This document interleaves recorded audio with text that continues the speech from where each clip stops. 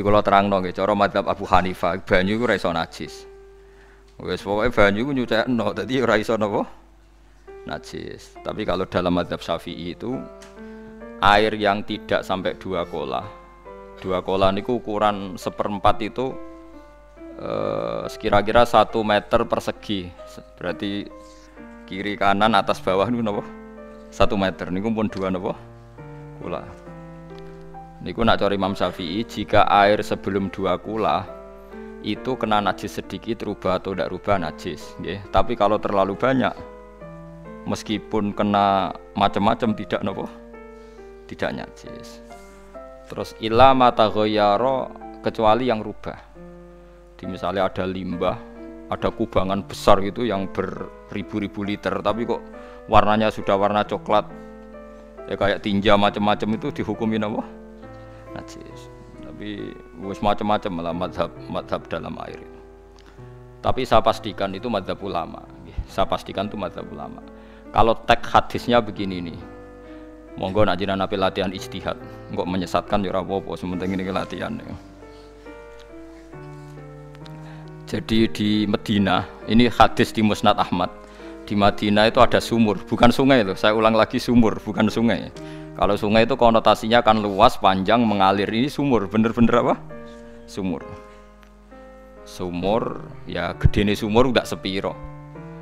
E, Nabi itu wudhu di situ, terus diingatkan ya Rasulullah itu sumur dulu zaman sebelum engkau datang, sebelum ada Islam di sini dipakai pembuangan jifah batang anjing dan nyuwun sewu kotoran orang haid. Ya kotoran orang haid. Terus saat itu Nabi ngendikan alma hurun la yunat jisuhu syai'un kata Nabi yang namanya air itu menyucikan.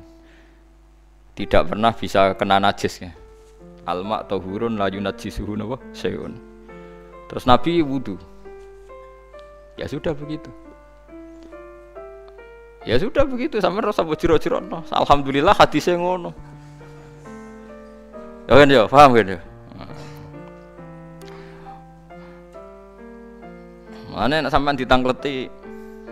Kulon sering ditanya sama orang-orang Jakarta, Gus, saya ini punya air langganan PDAM, itu dikelola dari sungai ini. Padahal sungai ini ini mulai tinja sampai sapi tank macam-macam ya ke situ semua, Gus. Terus gak baunya karena kaporit. Itu gimana itu, Gus? Suci ndak itu? Terus saya tanya, lah kamu pakai ndak? Ya sudah pakai, tapi tetap tanya hukumnya. Itu kan seperti yang di Jakarta itu kan misalnya yang diolah itu kan sungai macam-macam tuh. Lah itu yang limbah keluarga ya kalau untuk nyuci piring nggak apa-apa. Sapi teng macam-macam kan ke situ juga. Ya kan ya, cara kok istihad ya. Karena kalau menurut Syafi'i dua kolah pun tidak ada pengaruhnya kalau terlalu banyak apa? Bahan yang apa? Najis, yang limbah itu yang najis. Ya jelas najis ya. Kalau teletong sapi kan ijek ono intikal madhab Rasul makul tohir. Kotoran hewan suci itu suci masih banyak madhab yang mengatakan bahwa kotoran barang suci itu suci masih bisa intikal kalau kotoran manusia itu lebih kriminal nggak ada madhabnya itu. Jadi kotoran itu ono lama sing darah suci tapi nak kotoran ruhin gak ono. Nah, itu kan repot Makanya kata sebagian ahli hadis, sebaiknya hadis itu tidak usah diistihati. Pokoknya Nabi ngendikan begitu, gitu. ya sudah orang terus ya sudah begitu. Paham gitu terus seperti di sini misalnya yang di sini Gajah Wong itu kan atasannya sana mulai kali code kan wong macam-macam. Mulai wong buang kotor air besar, air kecil kan lewat semua. Macam-macam. Makanya masalah air itu pokoknya sifatnya air itu ma'an tohuro. Sifatnya air itu men mensucikan. Mensucikan itu dua dalam madhab syafi'i itu. Air dan tanah. Ya, air dan tanah.